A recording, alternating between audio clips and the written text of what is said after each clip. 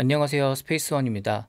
어, 저희가 무료 특강을 준비를 하고 있었는데 이게 지금 오미크론 상황 때문에 이게 정확히 어떻게 될지 모르겠어요. 정부의 방역 지침이나 이런 게 바뀌면은 저희가 이제 못 하게 될 수도 있고 만약에 지침이 바뀌지 않고 진행할 수 있다 그러면 그러니까 원래도 들어가는 강의실 인원의 절반밖에 이제 못 들어오게 해서 어, 띄엄띄엄 앉아서 이제 하면은 진행할 수는 있다고 원래 했었거든요.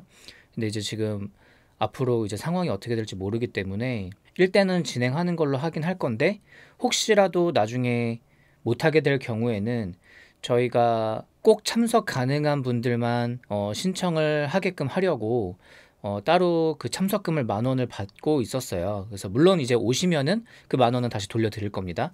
근데 만약에 어, 이런 상황으로 인해서 아예 이제 무료 특강을 진행하지 못하게 될 경우에는 저희가 다시 개별적으로 어, 참석금은 돌려드릴 거니까 그거는 이제 그렇게 알아주시면 될 것 같고요. 일단 날짜는 2월 13일 오후 2시예요. 그래서 역삼동에 위치하고 있는 이제 대형 강의실을 빌려서 이제 그곳에서 진행하게 될 건데 어, 혹시라도 아직 참석 신청을 안 하신 분들은 이 영상 밑에 있는 이메일 주소로 참석하고 싶다라고 이제 보내주시면 저희가 개별적으로 어떻게 참석하실 수 있는지 메일로 다 답장을 드릴 예정입니다. 어, 아마 이제 이런 얘기들을 하게 될 것 같아요. 이제 좋은 사운드를 만드는 방법들에 대한 어, 이야기들 그리고 그런 사운드를 이제 만들기 위한 어떤 공부법 그리고 뭐 이제 sound making이 중요한 이유 장비나 이런 것들에 관련해서도 얘기를 할 거고 음향 미신 이런 것들에 대한 얘기도 조금 해보려고 합니다. 그리고 어, 직접 sound making 하는 어떤 시연이나 이런 것도 어, 준비를 했어요. 그래서 간단하게 FM이나 AM, RM 이런 modulation에 대한 설명도 드릴 거고